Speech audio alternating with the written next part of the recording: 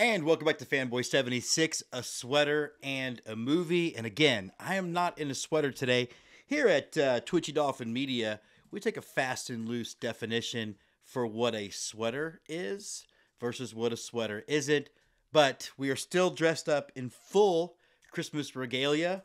I've got my ugly sweater Astros onesie uh, that Jessica and I are going to try to wear ours today, and I'll get to the why in a minute. But I'm also doing double duty representation wise because I've also got on my Erie Snow Wolves Happy Holiday t shirt and hat for my good friends up in Erie, Pennsylvania.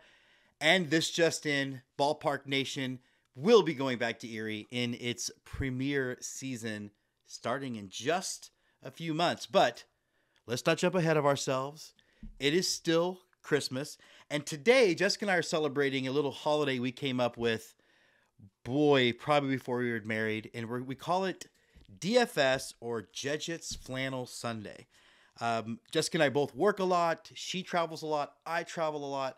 And sometimes we have a lot of period of time where we don't get to be together.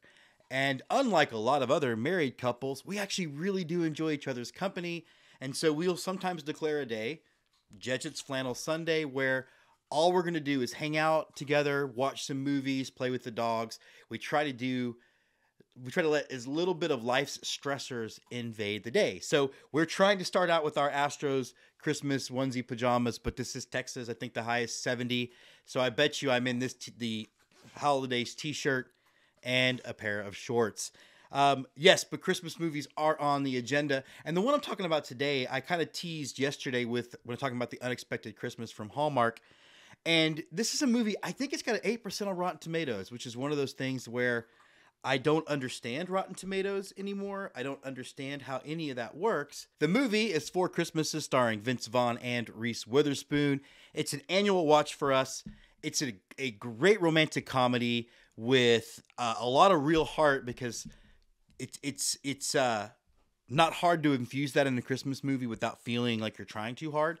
But really great performances, not just by Reese Witherspoon and Vince Vaughn doing their thing, but just a, a, a cast of actors coming in to play small roles and giving it their best. Uh, Dwight Yoakam as the crazy preacher, Tim McGraw back in another movie with Vince Vaughn and um, Jon Favreau as the two UFC, but not quite UFC amateur fighter brothers. Um, so many great moments in this movie. Sissy Spacek, uh, Robert Duvall, but yet people sleep on the movie. Like I said, eight percent on Rotten Tomatoes, which I just don't quite understand. Uh, it is an annual watch for us, like I said.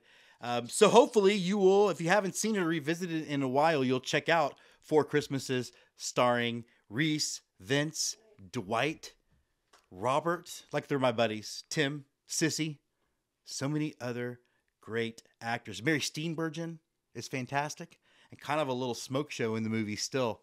She's, uh, you know, keeping it together. Speaking of keeping it together, we hope you're enjoying what we're doing. So please like us, follow us, subscribe to us, all the things. And we will be back tomorrow with one more Christmas movie. And I think tomorrow, an actual sweater.